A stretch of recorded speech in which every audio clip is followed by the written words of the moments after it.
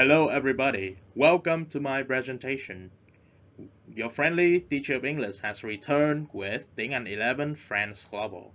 Allow me to introduce myself. My name is Nguyễn Minh Trí. I am a teacher of English working in Ho Chi Minh City. Lời đầu tiên, thầy xin gửi lời chào đến toàn thể quý giáo viên, quý phụ huynh và các em học sinh đang theo dõi bài giảng ngày hôm nay.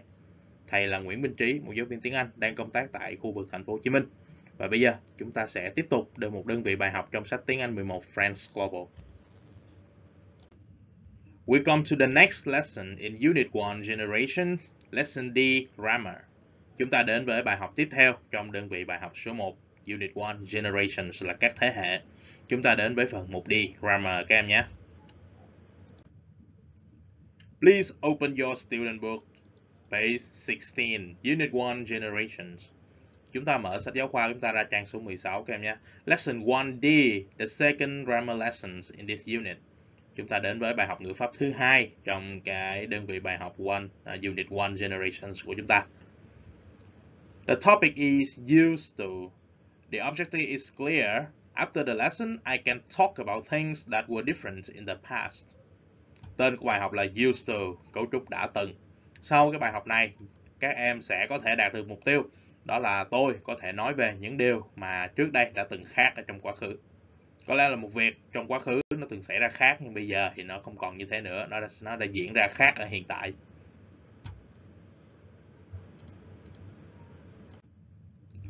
Let's begin with exercise 1 as a warm-up activity for all of you. Chúng ta hãy bắt đầu với cái đơn vị bài học số 1. Giống như là một phần warm-up, một phần khởi động cho tất cả các em trước khi chúng ta vào nội dung chính của bài các em nhé. Exercise 1.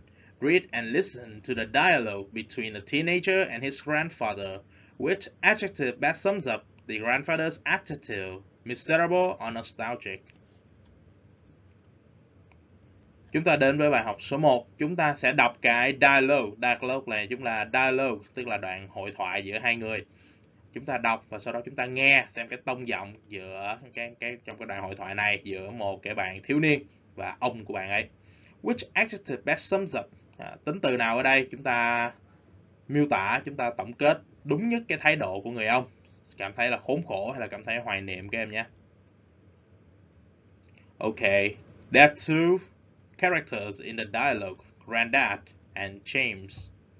Có hai nhân vật chính ở trong cái bài cái cuộc nói chuyện đối thoại này đó là Grandad là ông và James cháu của ông. Have you seen this photo of me when I was your age? À, cháu có thấy cái bức hình này của ông lúc ông ở tuổi cháu không? Vâng, cháu chưa thấy. No, I haven't. À, chưa, cháu chưa thấy để cho cháu xem.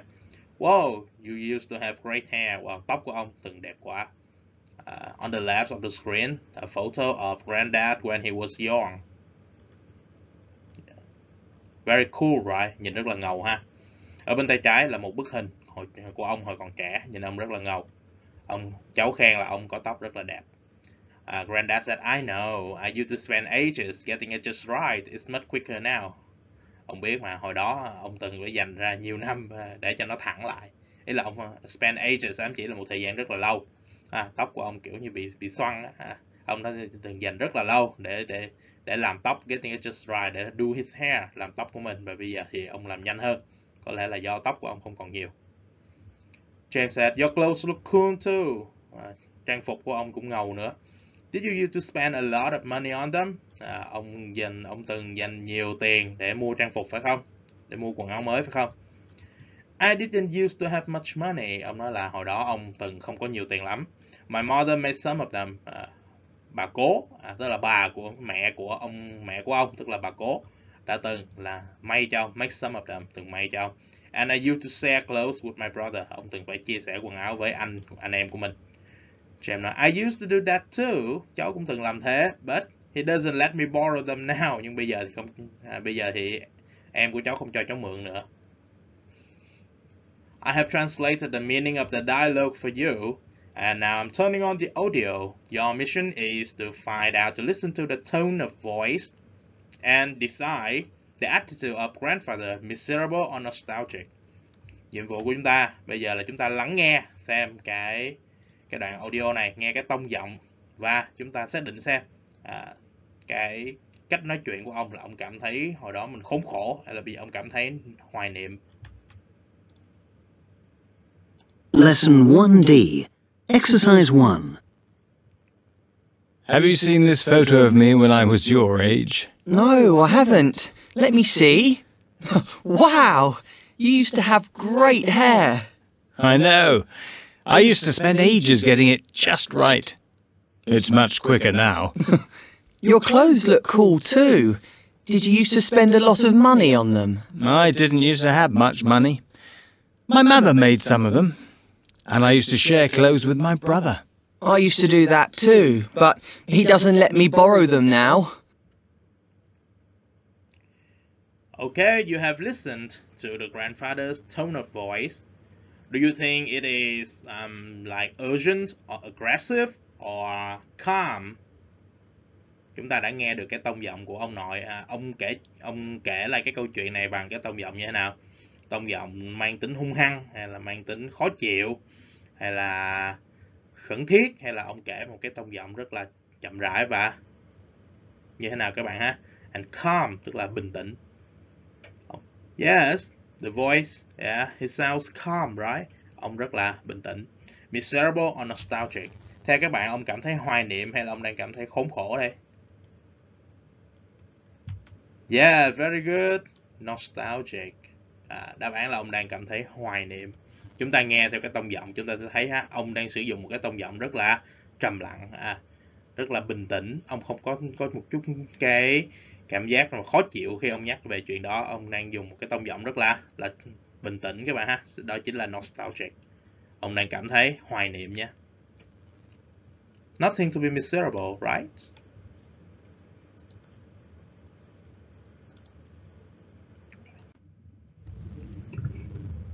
Now exercise number two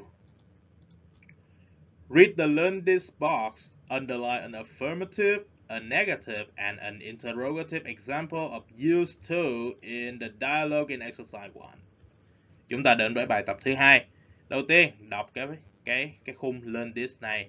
Sau đó chúng ta sẽ gạch dưới một cái affirmative, một cái câu, một cái example mà nó mang tính khẳng định, một câu mang tính phủ định và một câu mang tính nghi vấn an interrogative of used to của cấu trúc used to trong cái đoạn đối thoại trong bài số 1 các em nhé. There are two missions reading the learn this box and underlining. So let's start with the first one, reading the learn this box. Chúng ta bắt đầu bằng cái nhiệm vụ đọc cái khung này trước. Learn this A. We use used to when we want to talk about things which were true in the past but are not true now.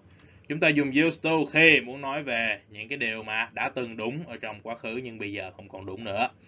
I used to read my sister's magazines. À, tôi đã từng used to có nghĩa là đã từng các em nhé. Tôi đã từng đọc cái cuốn những cuốn tạp chí của chị tôi. I used to read my sister's magazines. À, it means I do I do not read them now. Tức là bây giờ tôi chúng ta chẳng còn đọc nữa.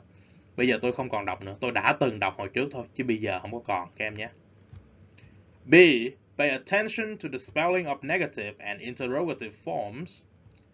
Chúng ta hãy chú ý đến cái chính tả của negative câu phủ định và câu nghi vấn nha các em. My sister didn't used to like it. Did she, she used to get angry? Yes she did. Rồi. Ở câu khẳng định các em hãy nhìn lên màn hình của chúng ta nhé. Ở câu khẳng định thì cấu trúc used to. Cấu trúc used to chúng ta sẽ có um, using the red highlight ở cấu trúc use though. chúng ta có cấu trúc use though ở đây Uh, please look at the screen everybody.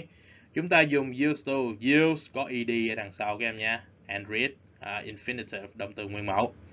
But when you use interrogative and negative, khi chúng ta sử dụng nghi vấn phủ định, thì didn't đã được đặt ra và used to, à, nhớ nha, động từ use ở trong à, nguyên mẫu các em nhé. Động từ use sẽ dùng trong hình thức nguyên mẫu chứ không phải use ed như câu khẳng định.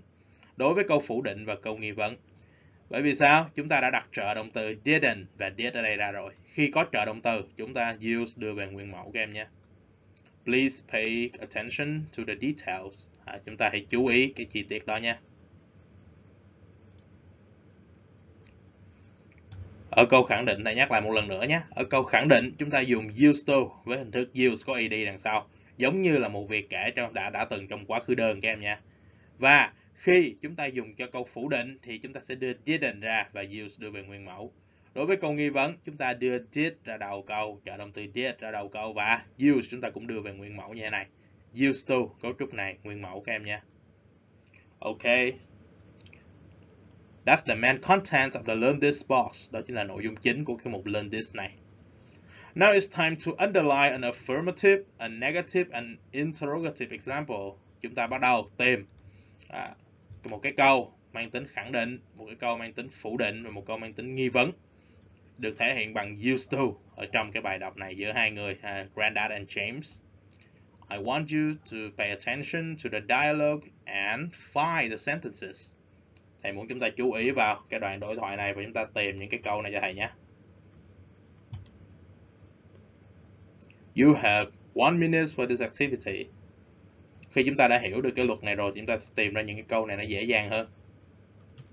It's easier for you to find to identify the sentences once you understand the rules in the Learn This box. And now I am showing you the answers. Bây giờ sẽ cho chúng ta xem đáp án luôn. An affirmative example indicates uh, the red color. Một cái câu mà khẳng định chúng ta sẽ có màu đỏ. A negative example indicates the blue color. An interrogative example indicates the green line. Okay. Let's see the answer. One.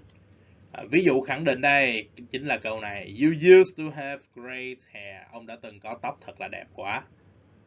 Ông đã từng có bộ tóc thật đẹp. Used to. Đây chính là câu khẳng định các em thấy không? Used to. Câu khẳng định. Uh, use ed. Đã từng có. A negative example. Oh, one more used to. I used to spend ages. Uh, ông nói rằng ông đã từng mất rất nhiều thời gian uh, để làm tóc của mình. And I used to share. Ông lại nói tiếp, ông đã từng chia sẻ quần áo với các anh em của mình. I used to do that too. An exa another example from James. So we have four sentences using affirmative form. Chúng ta có đến 4 câu à, dùng affirmative, dùng khẳng định lần. Which of them did you find? Các bạn tìm được câu nào trong bốn câu này? Or do all four of them? Very good. Nếu chúng ta tìm được bốn câu thì rất là tốt nhé. It's time for the negative example. I didn't used to have. Đây chính là câu ví dụ sử dụng, hình thức phủ định. Đã từng không có nhiều tiền. Thấy chưa các em ha? Ông nói rằng tôi đã từng không có nhiều tiền. I didn't used to have much money. Tôi đã không có nhiều tiền.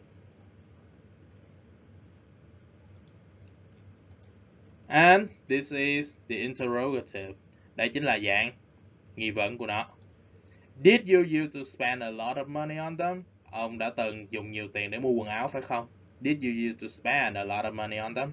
Chúng ta có thể thấy, ở đây, khi chúng ta đã mang trợ động từ did ra ngoài đầu câu, hoặc chúng ta đã đặt trợ động từ phủ định, did thêm not, thì you sẽ đưa về nguyên mẫu các em nhé. Okay, that is the end of exercise 2. I want you to underline the sentences in your student book. Chúng ta hoàn thành bài số 2 rồi. Các em gạch dưới những cái bài những cái những cái câu này ở trong sách học sinh của mình nha các em. If necessary, you can underline them with different color. It makes you it, you know it it makes it easier for you to when you want to revise the lessons. À, việc này sẽ khiến dễ dàng cho các em khi mà chúng ta muốn ôn bài lại.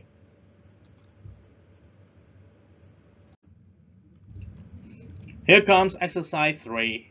Complete the dialogue with the correct form of used to and the verbs below. Chúng ta hoàn thành cái đoạn đối thoại với cái dạng đúng của used to và đi với cái động từ dưới đây. There are seven phrases here. Chúng ta có 7 cái cụm động từ ở dưới này. Be thì là ở do làm, go đi, live là sống, not have không có, not pay không có trả tiền and wait chờ đợi. Your mission is that you use the form of used to, the correct form of used to of the verbs below and fill in the blanks. À, đó là nhiệm vụ của chúng ta. Chúng ta dùng những cái động từ này à, điền vào chỗ trống sao cho hợp nghĩa và nhớ chuyển về hình thức used to đã từng. There are two characters in the story, Alice and her mom. Có hai nhân vật trong câu chuyện này ha, Alice và mẹ của Alice.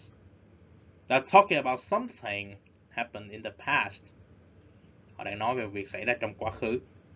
Can you understand the contents of a dialogue? Chúng ta hiểu được nội dung không nào? Okay, I'm showing you the answer. The first sentence, Mom says, I used to live opposite the Palace Cinema when I was 10. Mẹ nói rằng mẹ đã từng sống ở đối diện rạp chiếu phim Palace Cinema, à, rạp chiếu phim cung điện when I was 10. Palace Cinema used to live. Thầy sẽ highlight chữ live ở đây. Chúng ta đã sử dụng rồi ha. Alice said, Did you used to go there often? Mẹ có thường thường xuyên, mẹ có từng đi đi rạp phim thường xuyên không nào? Chúng ta có chữ go. So what did her mom says? Yeah, mom answered, yes, but we didn't used to pay. À, đúng, bọn mẹ có đi thường nhưng mà chúng tôi hồi đó không có phải trả tiền, đã từng không phải trả tiền.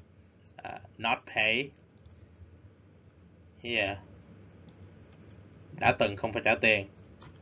It wasn't our fault. Không đâu phải lỗi của mẹ đâu. À chúng tôi hồi đó đã từng didn't used to have any money for the tickets. Đã từng không có tiền để để mua vé. À, hồi đó đâu có tiền đâu mà mua vé. Cho nên là à, xem lậu game ha xem lậu so how did you get in Alice à, asked again mẹ Alice hỏi nè sao mà mẹ vào được rạp phim vậy đâu không có tiền mua vé sao vào mom said mom answer we used the ways outside the fire exits and run in when somebody opened it. Chúng tôi đã từng chờ bên ngoài cái lối thoát hiểm và chạy vào khi mà có ai mở cửa cửa đó ra là chúng tôi chạy vào rạp phim. Yes. Very naughty, right? Use the way here. And Alice said that I can't believe you. À, con không thể tin là You used to do that. I can't believe you used to do that. Con không thể tin là hồi đó mẹ từng làm như vậy luôn á. Do. Không thể tin được hồi đó mẹ từng làm như thế. You're always telling me how important it is to be honest. À, mẹ luôn dạy con là, là, là rất là quan trọng để để để trở nên thành thật mà. À, luôn luôn phải phải cái việc mà thành thật rất là quan trọng. À, mẹ luôn dạy con như thế. Yeah, and her mom answered, well, yes, I used to be very naughty, but I grew out of it. À, mẹ nói là ờ thì đúng hồi đó mẹ mẹ cũng nghịch lắm. À, hồi đó mẹ cũng nghịch ngợm lắm cũng hư lắm. I used to be very naughty but I grew out of it. À, nhưng mà giờ mẹ lớn rồi không còn như thế nữa đâu. Yeah, I grew out uh, grew out of it. Các em nhớ cụm này nhé. À, bây giờ thì không còn như thế nữa. Not the same anymore yes an interesting story about mom's past right một câu chuyện thú vị về quá khứ của mẹ ha That is the end of exercise 3. I want you to take note in your student book. Chúng ta hoàn thành bài tập số 3 rồi. Các em ghi chú vào trong sách học sinh của mình nhé. Now, exercise 4, pronunciation. Ở bài tập số 4 này chúng ta sẽ tập luyện kỹ năng phát âm của mình nhé. Listen and check your answers to exercise 3. How it used to pronounced. Chúng ta nghe lại câu chuyện này một lần nữa và chúng ta kiểm tra xem những đáp án mình điền vào exercise số 3 vừa rồi có đúng hay không. Và chúng ta đặc biệt chú ý how it used to pronounce. Please pay attention to these details. À, chúng ta hãy chú ý tới cái chi tiết này nha các em. Để xem cái chữ used to người ta phát âm như thế nào nhé. Now let's begin with the audio. Lesson 1D. Exercise 4. I used to live opposite the Palace Cinema when I was 10. Did you used to go there often? Yes, but we didn't used to pay. It wasn't our fault. We didn't used to have any money for tickets. So, how did you get in? We used to wait outside the fire exit and run in when somebody opened it. I can't believe you used to do that. You're always telling me how important it is to be honest. Well, yes, I used to be very naughty, but I grew out of it. Okay, an interesting story about mom's. Lesson 1D. Exercise 4. I used to live opposite the Palace Cinema when I was 10. Did you used to go there often? Yes, but we didn't used to pay. It wasn't our fault. We didn't used to have any money for tickets. So, how did you get in? We used to wait outside the fire exit and run in when somebody opened it. I can't believe you used to do that. You're always telling me how important it is to be honest. Well, yes, I used to be very naughty, but I grew out of it. I used to live opposite the Palace Cinema. Các em thấy không? Không phải là I used to live uh, opposite. I used to, I used to, I used to live, I used to live opposite the Palace Cinema. Đó, những cái câu như thế. Did you used to go there often? Yes, but we didn't used to pay. Đó, các em thấy không? Cái chữ t, t rất là nhẹ và người ta đọc used to, chứ không phải là used to, các em nhé. Used to. I didn't used to pay. Đó. À, và lướt qua đến cái động từ tiếp theo. Tuy nhiên ở một số câu mà chúng ta cần phải nhấn mạnh, ví dụ như cái câu ờ, ở mức số 6 đây. À, câu ở số 6 đây, Alice nói I can't believe you used to do that. Đó, Alice nói con không thể tin là hồi đó mẹ từng làm như thế. Thì ở đây chúng ta có used to do. À, chữ to khi chúng ta muốn nhấn mạnh thì lại nói rất là rõ ràng cái chữ to ra ha các em. Bình thường chúng ta cứ used to, used to, used to live à, trong văn nói bình thường. Khi chúng ta muốn nhấn mạnh chúng ta sẽ dùng used to. à, các em ha. That is how you pronounce the phrase used to. Đó là cái cách chúng ta phát âm cái cụm từ used to này. Try to memorize them and practice a lot in your daily conversations. Cố gắng nhớ những cái chi tiết này và chúng ta tập luyện thật là nhiều để áp dụng vào những cái tình huống văn nói hàng ngày của chúng ta các em nhé. That is the end of exercise 4. And now, exercise 5. Complete these sentences with the correct form of used to or didn't used to and the verbs in brackets. Chúng ta hoàn thành những cái câu này với cái dạng đúng của used to và didn't used to. Một trong hai các em nhé. Đã từng hoặc là đã từng không. Đã từng làm điều gì hoặc đã từng không làm điều gì. The verbs in brackets. But first of all, please read the lookout box. Chúng ta kiểm tra cái lookout. Lookout uh, khi mà cái khung này xuất hiện có nghĩa là cái gì đó khiến chúng ta phải, this is a warning. Everybody, please take this as a warning. Nhìn cái biển này giống như là cảnh báo các em nhé. Cảnh báo gì đây? Do not confuse used to with the phrase be or get used to doing something. Yes, it's very important. This is a very important piece of information I want you to focus, everybody. Chúng ta tập trung đây là một chi tiết mà rất quan trọng đây. Chúng ta đừng nhầm lẫn các em nhé. Do not confuse. Đừng có nhầm lẫn used to với cái cấu trúc là be hoặc get used to doing something. Bởi vì cấu trúc be, get used to doing something có nghĩa là chúng ta đã làm quen với điều gì đó. Nha. Yeah. For example, used to. I used to ride my bike to school. Tôi đã từng, ở đây used to ride, chúng ta tôi đã từng lái xe đạp đi học, đã từng đạp xe đạp đi học. But when you, you get used to or be used to có nghĩa là đã quen với việc gì. Chúng ta làm quen với việc gì rồi. The glasses feel strange. Yeah, these glasses feel strange. Những cái kính này, cặp kính này hơi lạ. À, lúc mà mới mua mới mua đeo vô mắt thì nó hơi lạ. But I'll get used to them. Đó, nhưng mà tôi sẽ quen thôi. I'll get used to them. Tôi sẽ quen với cái việc này thôi các em ha. She hates losing. Cô ấy ghét thua. She isn't used to it. Cô ấy không quen với việc thua cuộc. Yeah, she always wins. Cô ấy luôn thắng. She always wins in competitions and contests là luôn luôn thắng trong những cái cuộc thi, cái sự ganh đua với nhau. Rồi cô ấy không quen với cảm giác thua cuộc. Isn't used to it.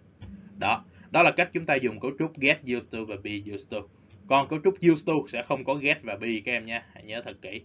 Trong cấu trúc used to đã từng không có get, không có get và be. Và nhớ, chúng ta dùng used to với cái hình thức là động từ use ở đây được sử dụng giống như là quá khứ đơn luôn các em nhé thì quá khứ đơn luôn. Còn đối với get và be used to thì ở đây chúng ta sẽ có cái động từ get và động từ be nó sẽ thể hiện cái thì của câu chứ không phải used to. Các em nhớ thật kỹ nhé. Ở cấu trúc used to thầy nhắc lại nè ở cấu trúc used to à, chúng ta sử dụng used to với hình thức thì giống như quá khứ đơn luôn với used to là động từ chính. Nha các em. Tuy nhiên đối với cái cụm là be hoặc là get used to thì be hoặc là get mới là động từ chính và thì của câu sẽ phụ thuộc vào cái get và be này. Các em nhớ nha còn cái used to lúc này trở thành phụ trong cái cụm động từ đó. Ok. Vậy là chúng ta đã hoàn thành cái chú ý nha. Đọc thật kỹ thầy muốn các em ghi chú à, underline thật là kỹ highlight cái từ used to get và isn't này ở trong sách giáo khoa chúng ta. Để chúng ta coi lại.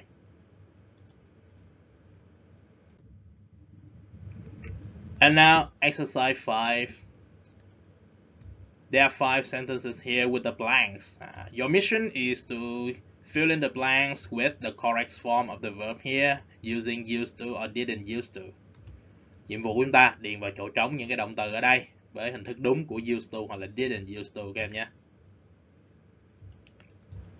I give you two minutes for this activity and then I'll show you the answers. Chúng ta có 2 phút, sau đó thầy sẽ cho chúng ta xem đáp án.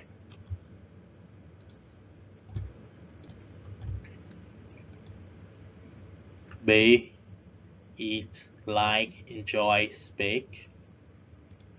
Here comes the answers. Number one, she used to be a student, but she finished her university course in June. Cô ấy đã từng là một sinh viên, nhưng vào tháng 6 năm ngoái cô ấy đã hoàn thành she finished her university course. Cô ấy đã hoàn thành chương trình học đại học của mình. Tức là hồi trước, trước đây đã từng là sinh viên, bây giờ không còn nữa. Number two, she It's meat. Cô ấy đã từng không ăn thịt. Hồi chưa, she's vegetarian, right? Cô ấy đã từng là người ăn chay ha, cô ta đã từng không ăn thịt. Nhưng bây giờ, thỉnh thoảng, lâu lâu cô ấy cũng ăn thịt gà các em nhé. She didn't. À, đó, chúng ta thấy không? Hai cái ý này nó ngược nhau. À, hồi trước đây là không ăn thịt. Đã từng không ăn thịt, nhưng bây giờ có ăn chút xíu. Exercise, I'm sorry, sentence 3. I cat, but I prefer dogs now. Tôi đã từng thích mèo nhưng bây giờ tôi thích chó hơn. Prefer. Chúng ta thích cái gì hơn cái gì? À, tôi đã từng thích mèo nhưng bây giờ tôi lại thích chó hơn. Number four. I used to enjoy TV. Tôi đã từng thích xem TV nhưng bây giờ tôi lại thấy hầu hết những chương trình nó boring or annoying. Nó quá nhàm chán hoặc là nó quá phiền phức. Annoying. Những chương trình hoặc là quá nhàm chán hoặc là quá phiền phức các em ha. Vậy là hồi trước đã từng thích xem TV nhưng bây giờ thì không. Number 5. He didn't used to speak. À, anh ta đã từng à, không nói một cái ngôn ngữ nước ngoài nào hết nhưng anh ta đã bắt đầu go to Spanish lesson last year. He started going to Spanish lessons last year. Anh ta bắt đầu đi học tiếng Tây Ban Nha năm ngoái. Chúng ta có chữ but phải không? Vậy là trước đây đã từng không có nói tiếng nước ngoài nhưng mà bây giờ bắt đầu đi học tiếng Tây Ban Nha rồi năm ngoái đã đã bắt đầu đi học tiếng Tây Ban Nha rồi các em ha. That is the answers to exercise 5. Please take notes in your student books. Chúng ta hoàn thành bài tập số 5 và chép những cái đáp án này vào trong sách học sinh của các em nhé.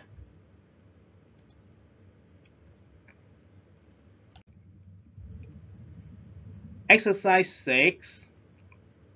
Read the lookouts box again. Listen and decide if the sentence Content be, get used to, used to or both. Rồi chúng ta lại một lần nữa đọc cái khung lookout này các em nhé.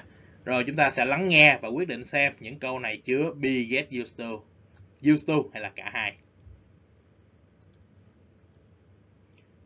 I'm turning on the audio, please. Pay attention, everybody. Lesson 1D. Exercise 6. 1. My grandma is used to living on her own. 2. We used to live in an enormous house.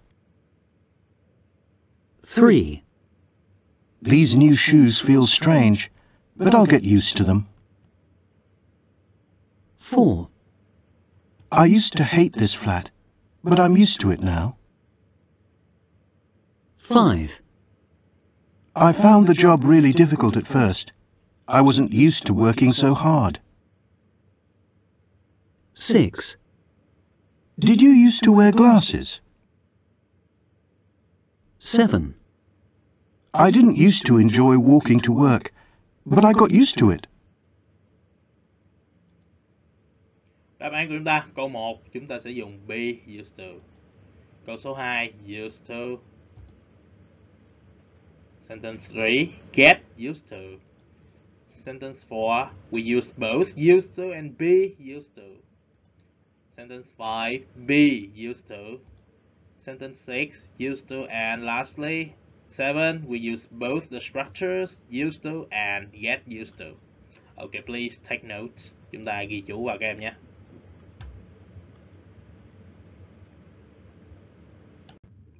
Well done everybody, we're about to finish the lesson. Chúng ta đã sắp hoàn thành cái bài học ngày hôm nay rồi.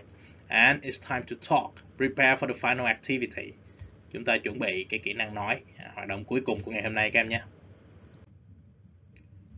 Exercise 7, speaking, working pairs. as an answer about what you used to be like at the age of 5. Use the following prompts. Chúng ta làm việc theo cặp nhé các em. Hai người với nhau sẽ hỏi và trả lời về những cái điều mà bạn từng như thế nào, bạn đã từng trông như thế nào ở cái lứa tuổi 5 tuổi. Use the following prompts. Chúng ta dùng những cái cụm từ sau đây. Number one, be afraid of the dark. Sợ bóng tối. I used to be, or I didn't used to be afraid of the dark when I was five. Uh, sentence two, listen to story at bedtime. Nghe kể chuyện khi đi ngủ. Watch a lot of cartoons. Have piano lessons. And walk to school on my own at the age of five. Uh, chúng ta sẽ đặt những cái câu hỏi này và nói với bạn bè mình về cái việc đó là chúng ta đã từng như thế nào khi chúng ta 5 tuổi các em nhé. Exercise 2. I used to, sentence 2, I used to listen or I didn't used to listen to story at bedtime. Tôi đã từng hoặc là đã từng không nghe kể chuyện khi đi ngủ. Sentence 3. Watch a lot of cartoons. Chúng ta xem nhiều phim hoạt hình. I used to or I didn't used to watch a lot of cartoons. 4. Have piano lessons. I used to have or I didn't used to have piano lessons when I was five. And walk to school on my own. I used to walk or I didn't used to walk to school on my own. Tôi đã từng hoặc là đã từng không tự mình đi bộ đến trường các em nhé. Walk to school. Okay, it's time to practice speaking with your partner. Đến lúc chúng ta tập luyện để nói cái câu này với bạn bè mình.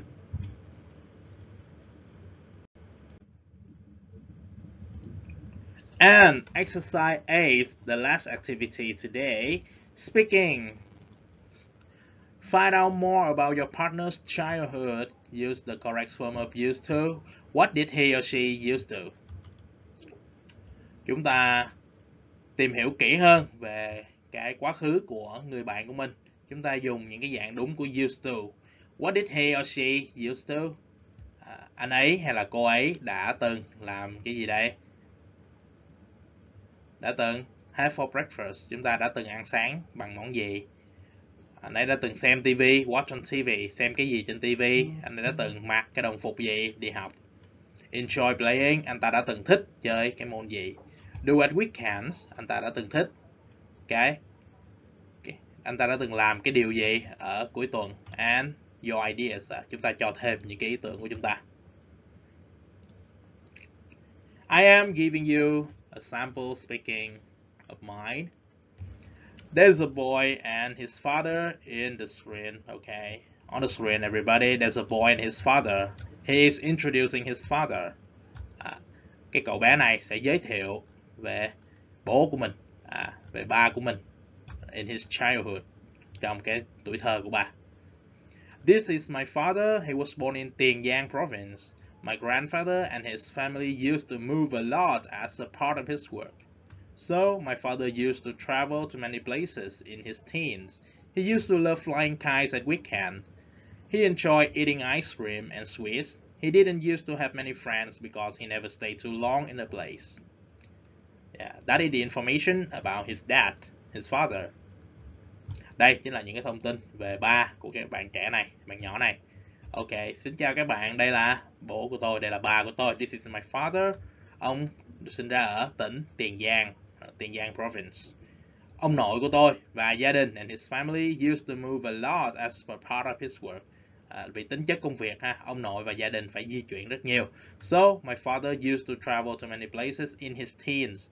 À, và ở cái thời niên thiếu của ba tôi, à, ba tôi đã di chuyển rất là nhiều, đã phải à, đã từng di chuyển đến rất là nhiều nơi à, khi mà trong thời niên thiếu của ông ấy. Ông ấy đã từng thích thả diều vào cuối tuần. À, he used to love flying kites at weekends. He enjoyed eating ice cream and sweets. Ông ông đã thích ăn kem và kẹo ha đồ ngọt kem ha ông ấy đã từng không có quá nhiều bạn bè bởi vì ông ấy không bao giờ ở quá lâu ở một nơi hết tính chất công việc của ông nội ông nội di chuyển rất là nhiều Okay, take this as an example if you want chúng ta có thể lấy cái đoạn này là một cái phần ví dụ chúng ta. And you can also take it as a reference. À, lấy làm tham khảo cũng được. Okay try to practice everybody. Practice with your friends. I want you to introduce your friends like this. And I'm calling some of you to stand in front of the class and present your ideas. Thầy sẽ gọi một số bạn đứng lên trước lớp và chúng ta sẽ trình bày cái ý kiến của mình các em nhé. Okay, that is the end of our lesson today. I love that you have learned new thing after the lesson. See you again everybody. Vậy là chúng ta đã hoàn thành cái bài tập ngày hôm nay, cái đơn vị bài học Unit 1 Generation và phần 1D Grammar chúng ta đã hoàn thành cái phần ngữ pháp ngày thứ hai à, thầy rất vui là sau cái bài học này các em đã học được nhiều kỹ năng nhiều kiến thức mới cho để cải thiện cái vốn tiếng Anh của mình ok vậy là chúng ta đã hoàn thành bài tập ngày bài học ngày hôm nay. Thầy xin phép gửi lời chào tạm biệt các em. À, hẹn gặp lại quý thầy cô quý phụ huynh và các em học sinh trong những cái video tiếp theo. Goodbye everybody.